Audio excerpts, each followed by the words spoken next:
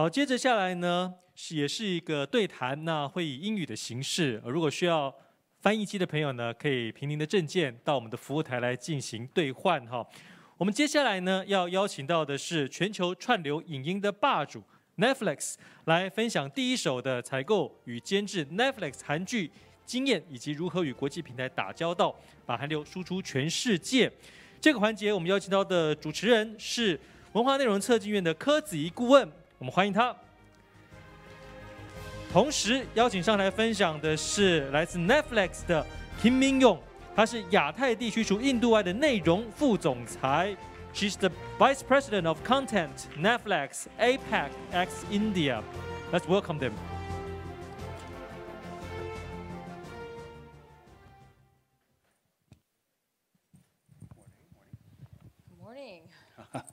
Good morning. Welcome to NMEA Asia Hub Summit 2022. It's my pleasure to be here this morning to help NMEA and Taiwan welcome a very special guest. She's the Vice President of Content for Netflix APAC, excluding India. And today she's here to share a little bit about the content strategy for Netflix for the Asia Pacific region.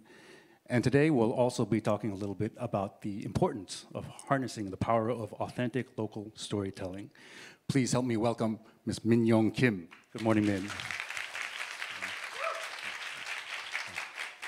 And it, it's not welcome to Taipei, it's welcome back to Taipei. Uh, yes. Yes. I've been here multiple times. The food always brings me back. so.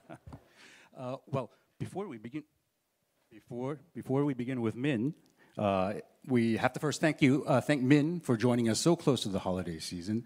And in the spirit of the holiday season, Min has brought us a gift.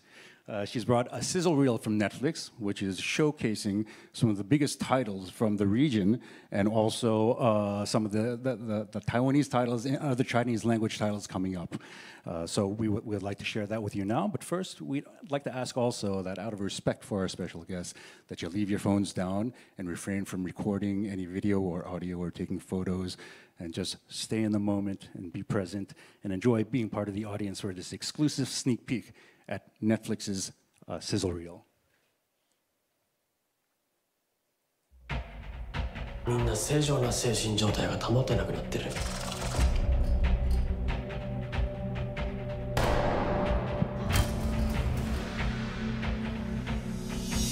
違 う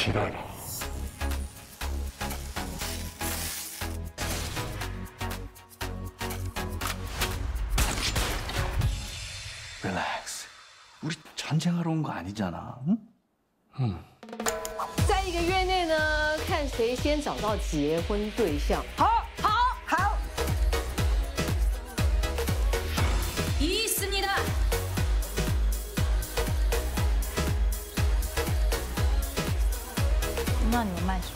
このイカれたゲームが何なのか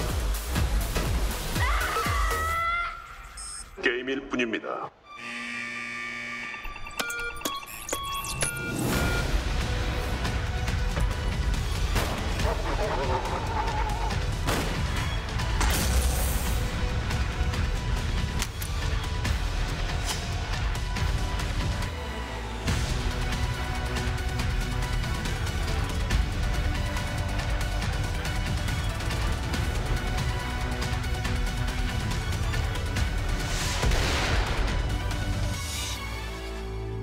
既然躲不掉，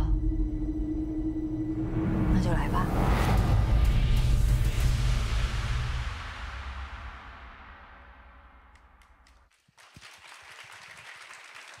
So, so my first takeaway from that is Min, you and your team have been very busy. Uh, we have had a very busy past few years. And my second takeaway is I can tell the audience is already trying to figure out how much time they're going to have to spend on Netflix in the next half year year. You may have to spend the rest of uh, your holidays at home. Well, Min, before we dive into it, uh, wonder if you could share a little bit about yourself and your journey at Netflix. Um, I joined Netflix in 2016 November. Um, I vividly remember because I was one of the one of the few first hire uh, uh, of the content team in uh, in Asia office. Uh, when I first joined, I was based out of Singapore, but working on making sure that we bring Korean content to our service to please our members. And because we were very new, Netflix was very new in the market in Asia in general, the, the key was in earning the trust of our partners. So I spent a lot of time traveling back and forth to Korea, knocking on the doors. Um, uh, you know, in a in a backpack, in my sneakers. You know, I would go there for two weeks, have about I counted one once, have about around like 50 meetings, and by the end of two weeks, I would be like, you know, if I have one more meeting, I may die, and then I would come back. so it was a lot of meeting the partners to earn their trust, but at the same time, Netflix is also a business, and I, it was my job to make sure that the company sees the value of Korean content, to make sure that Korean content is going to be the big driver for not only Korea, but uh, our growth in Asia. So making sure that I make the right choices, uh, even when I make the wrong choices, making sure that I I am very candid and transparent about the learnings and making sure the company learns together was a very important thing. So, so that journey uh, is how I started, and with that, um, here I am.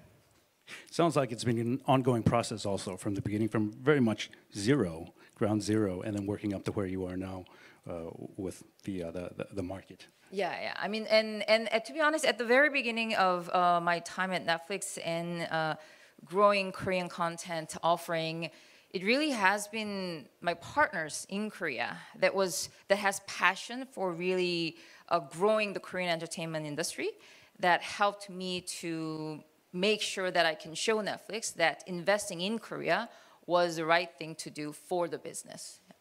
What would you say over the, the, the course of that process, uh, ramping up in Korea, was maybe the, uh, the, the inflection point, the change, where everything changed for Netflix Korea? So for for the company, it was it was slowly showing the possibility of what a Korean content can do. It, Korean content already had a big fan base. You know, I Netflix cannot I cannot take the credit that we made Korean content where it is because Korean content already had that fan base.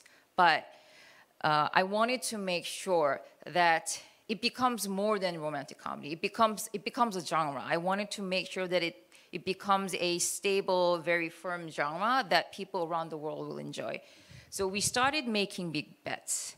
Uh, a show like Kingdom, like uh, uh, like Sweet Home, like extracurricular, making sure that we diversify the types of Korean content we bring to the service shows that may not previously that may not have been uh, uh, very straightforward in in terms of the formula that we had that gets uh, a lot of popularity and earns a lot of money.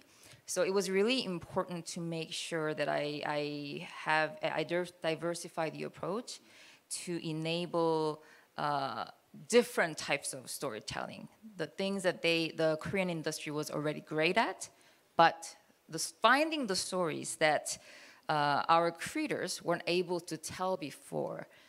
And when I talk to the creators in the industry, uh, because Netflix is a global platform, a lot of the times I would get pitches that they want to make, when they want to make a global show, they would pitch me a show in English. They wanted to make a show with our teams in America, within Hollywood, because English show equal global show.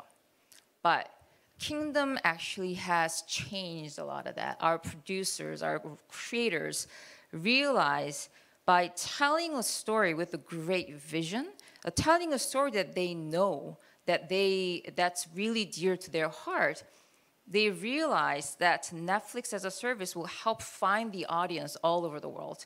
And a Korean language content itself can become a global show. And that was a big turning point to how a lot of uh, our partners and creators in the industry uh, started to look at us differently as a partner and started to really focus on making a show that they are really passionate about. That leads into kind of uh, part of what today's discussion has been so far. It's not quite noon yet, but we've already heard several times from the different panelists how do we take Taiwan global? Uh, can Taiwan global? We must take Taiwan global. Uh, and we've heard also about global content and, and, global markets and global success. At the same time, we've also heard about local shows and local stories, local markets. Uh, you've talked about before yourself, you know, the importance of being able to create content for your local market first before striving for global success. Can, can you talk about the, the relationship between global and market, uh, local a little bit? That's something uh, we- we've talked about this mm. yesterday a lot as well. That is something we're trying to figure out how to best describe what we truly want to mm. convey to our partners and our creators. As a, as a, as a platform, we always say local impact first. Mm. What, what we mean is we want to make sure that we satisfy our members in the local market uh, and we as a service, the algorithms, the product that we have will help find audiences around the world. And we, we will make sure that this show uh, is distributed globally to reach the audiences around the world. And the reason that a show really needs to be locally authentic is because if that show does not find a big uh, find that does not please the members in in the market where that story can resonate, it is difficult to really reach the audience who may have a similar taste outside of Taiwan. If we think it from the creator's perspective, when we say uh, local first, what we're trying to say is we want to create, we want you to tell the story that you are good at. We want you to be tell the story, not some, not something that you don't know, but something that you know, but with a bigger vision, with a bigger imagination, something that you that you have imagined before, but you may not, you know, our audiences may not know, but you know that the audiences in Taiwan will be able to enjoy. I think that those are the types of the shows that we envision that is are that are going to be locally impactful, but also be able to travel globally. Does it make sense? Uh, I think so. I think so. So, so sounds like authenticity is a key word here. Yeah. Personal stories, uh, things that really resonate Right, with you, right. the creator. I think a good, really, really good example, and I promise this is the last time I'll talk about Squid Game. Um, Squid Game is a great example because Squid Game is a truly locally authentic story. The, the game Squid Game is, when we first uh, discussed with Director Hwang, the, the game Squid Game is, is only known in Korea. And to be honest, not all generations know Squid Game. But we, the, the game itself was the core essence of what uh, uh, it, it represents what we were trying to tell in that story. So that itself was really important. So we didn't want to give, give up on that Squid Game. And that, that's, that's what we did when we really decided the titles too. At first, uh, we've, I, we've mentioned this multiple times in, in, in, uh, in media. So we first named the title to Round Six because we wanted to make it more easier to our global audience. Uh, because Squid Game doesn't come off very intuitively to our global audience. But we really wanted to be true to the story. So we decided to stay with the Squid Game. As we try to choose the, the games within the show, uh, we also wanted to make sure that this story is not some uh, is something that resonates with the Korean audience. So it was really important to find those games where our audiences feel it's it's a, it's a nos- brings nostalgia. It's a it's a game that they used to play as a child. So that one was also very important. We did put a lot of effort in making sure that we choose a game that is simple enough for the global audience to uh, understand. So where we start is make, really making sure that we find the locally authentic story, but making sure that we try to make it as uh, as accessible uh, as possible, and that so that it can resonate with the audiences even outside of Korea as well. So authenticity, uh, accessibility, also. Uh, and it sounds like uh, when we're talking about uh, local stories, doesn't necessarily um, mean it's mutually exclusive from travelability.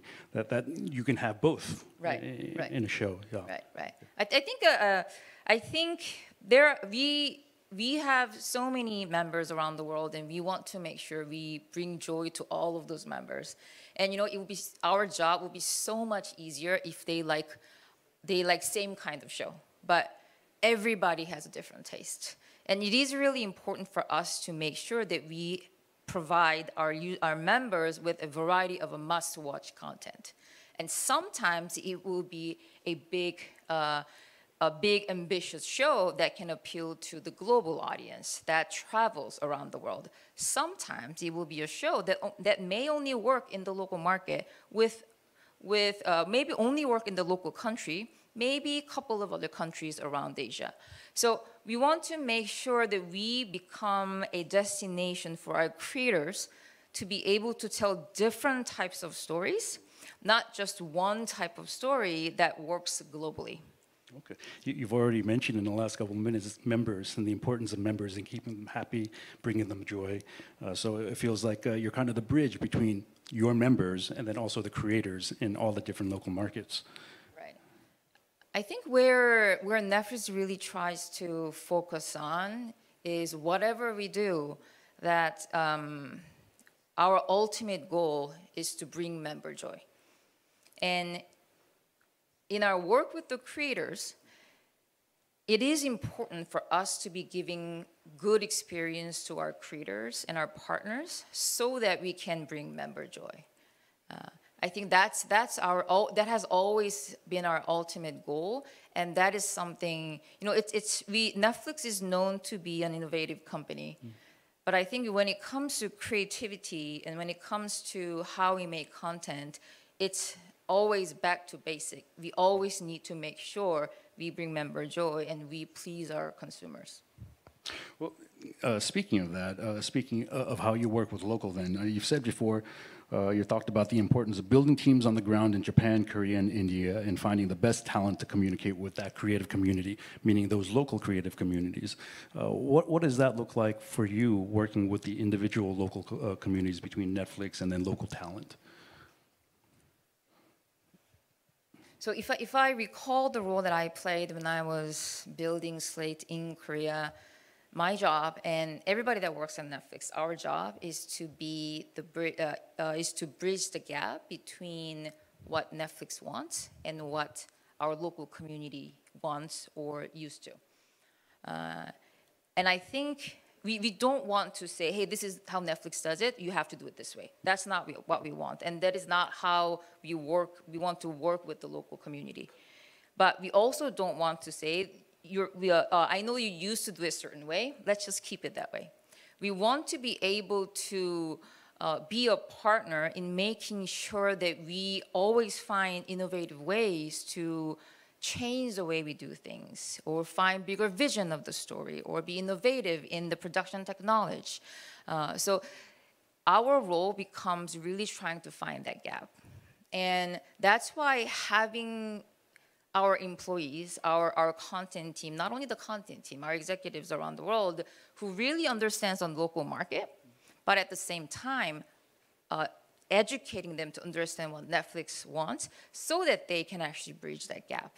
Uh, so that becomes an important strategy for us.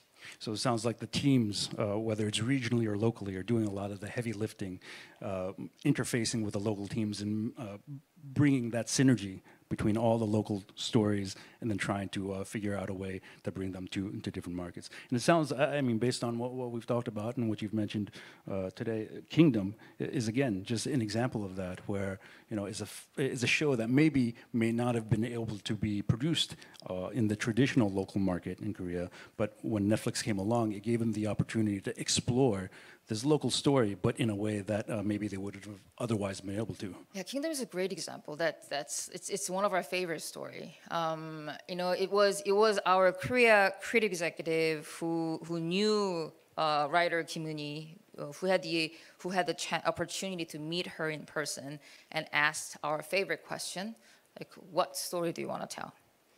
And she took some time and came back to us with Kingdom, something that she had, she really wanted to tell us. Uh, she wanted to turn into a show 10 years ago.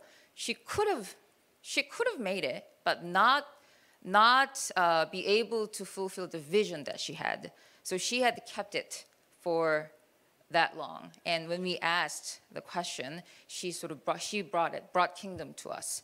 And those were the type of uh, stories that we wanted, something that was, that's differentiated, something that, you know, now uh, Korea zombie is a thing.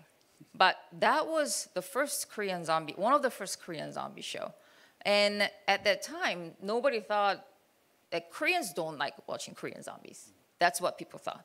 But now Korean zombie is a thing, right?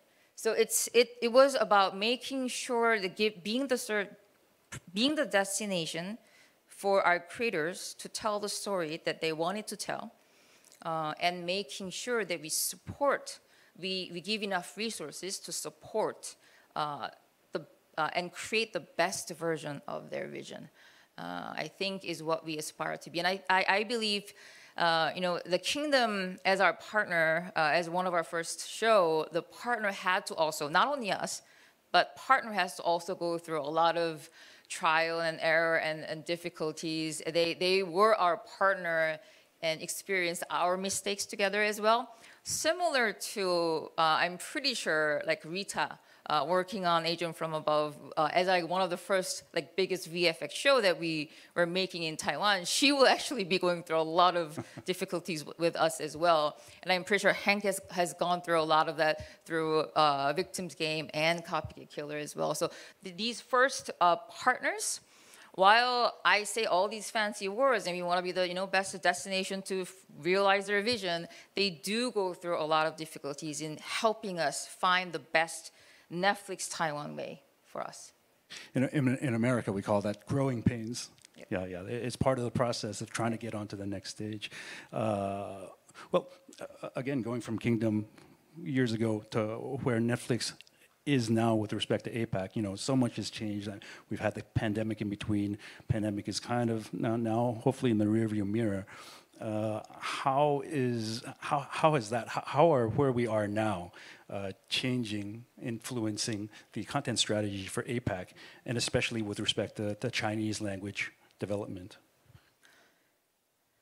I think during the couple of years of this pandemic, what really changed was how people consume, watch content, and what they watch. And I think for me, as a content executive, where I can focus on is what they're watching. With the amount of content that gets consumed like increasing significantly, people have been more open to different kinds of uh, content. And more, uh, more, more simply, uh, not only scripted series, there, there is an increasing demand of not only scripted series where we, we, we used to focus a lot on. Now we need to get into scripted film, uh, unscripted, documentaries. So there, there has been an increasing demand in variety of different types of content. So I would say that is number one. What is more exciting as a content executive is that the We've seen through examples like Parasite, Squid Game, Alice in Borderland, Lupin, La Casa de Papel, and Incantation that the border of and the language barrier of this content has, I cannot say it's gone, has lowered.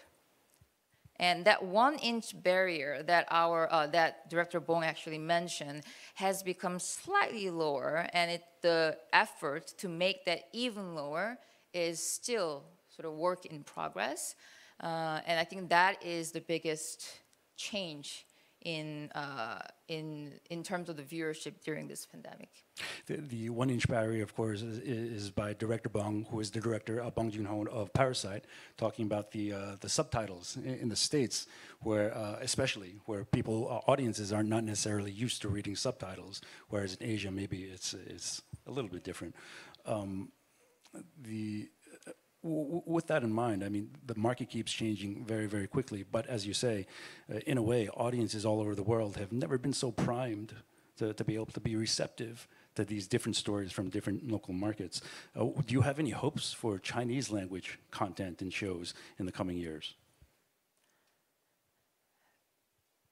Chinese, I think Chinese language content, you know, this is why I have a team who are expert in this area because I'm not expert in that area. I may help them uh, solve some of the issues that they may face through the experiences that I have.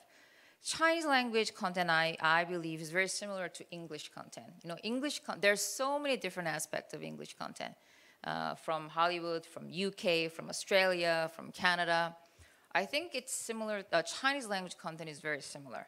Uh, from someone who doesn't speak the language, who doesn't know the culture, people may think, oh, it's one Chinese language content. I think each different Chinese language content, whether it's from Taiwan, from Hong Kong, has very different characteristics. I believe it's really important to continue to do the ones we are good at, but at the same time, we are I as we are in this in this world of creating demand. It is really important for us to be constantly coming up with a bigger vision and really not restricting ourselves with, oh, Taiwanese audience don't like this, or oh, uh, our, our, audiences in Korea don't like this. Instead of restricting us to, uh, to what has been known before, continuously coming up with a bigger vision uh, and making sure that we can bring that to life to a great storytelling. And so I think these two, continuing to do things that we're great at, and also at the same time, always pushing our bar- boundaries to come up with a greater vision uh, and turning that into stories. I think that's where I believe uh, Chinese, what I hope to achieve from the Chinese language content. And because in Taiwan, especially, the, the creative community, the infrastructure, the skill set of our, our uh, production staff, it's, it's really one of the top notch. So I really want to make sure that we find, uh, we are able to show the world that, you know, not only Korea, not only Japan, but shows that come from Taiwan and the Chinese language content we're making together can actually surprise the world too. Speaking of things uh, changing very quickly over the course of a couple of years, hopefully when you come to Taiwan, you don't have to go around knocking on doors anymore. Uh, hopefully, well, I, I have Jerry and Claudia to knock on the door together with me, so but hopefully, maybe not. Well, so when it comes to Taiwan, because you mentioned also, you know, there are different Chinese markets, different dialects, or different ways of creating content. Uh, do you have any specific vision uh, for uh, for Taiwan, or how Netflix plans to work with Taiwan coming up? I think the strategy or, or the way we work actually is not that different country by country. I think what we want to make sure is uh, you know, we have our our local experts on ground that can actually sort of bridge the gap between how how Taiwan works as an industry, but how how Netflix works as a company, um, but be able to, you know, uh, innovate and change the way we work. For example, uh, you know, uh, a lot of the way the LED sort of the sound stages, utilizing the virtual production, or really giving giving toys and freedom uh, and, and, innovation to change the way do uh, way we make shows and we tell stories, um, and in that the goal is to make sure it's as seamless as possible. So even as and it's it's undeniable that we are uh, we are a international company, but we don't want to we don't want to put the burden on partners to make everything, have to do everything in English or, or have to do everything the Netflix way. So being able to create a seamless experience so that our partners will want to give us their, their, best content. I think that's the way I want to make sure that we continue to partner with our uh, creators and the producers in in Taiwan. And I know we're not there yet, we're not perfect yet, but it is work in progress, and I can promise you that we are going to constantly uh, improve. Along those lines, could you share a little bit about what Netflix has done already locally here in Taiwan to support the, the, the local industry? Um, we, aside from the shows that we're, we're making, uh, we've signed an MOU with, with TAICCA to make sure that we promote the Taiwan uh, content. And also, we want to make sure that we bring the Taiwanese content to the world. So a good example could be like incantation when it sort of you know breaks out in, in other countries like Japan. We want to make sure we take that opportunity and we amplify uh, and make sure uh, audiences who have not yet seen the show, seen the film, are able to discover that too. Uh, we've also uh, done a workshop, a creative workshop, to um, to sort of help some of the creators who are interested in the in the showrunner system or the way the Bible is sort of written in in in the way we do in Hollywood and or other countries. So we've come up with different different kinds of creative workshop uh, to make sure that. Uh, to enable different types of storytelling, and, and we also do have plans on how should I say, the enhancing like the production innovation. So we do have a post-production workshop, the webinars, all different kinds of programs uh, waiting uh, for us in the new year as well. We just have a few seconds left. Uh, uh, well, I'll try to sum up some of the takeaways. I don't want to put words in your mouth. If I'm wrong, you, you jump in. It sounds like local stories, uh, not a dirty word. If anything, actually, they're very okay. Local stories are something that Netflix is definitely looking for. Authenticity is a key word when we're talking about the local stories, very personal stories. And then uh, Netflix is here uh, to to really be a partner to all the local teams to, to help in any way it can to foster the development of these local stories and then find a way to spread them throughout the world. Mm. Uh, and then finally, I think Netflix is just getting started in Taiwan. That's my last takeaway. Exactly. I think you summed it up perfectly. Thank you, Min Young Kim. Thank you. Thank you so much. 好，非常感谢两位精彩的分享，再次掌声感谢你们，请先回座，Thank you。Please return to your seats.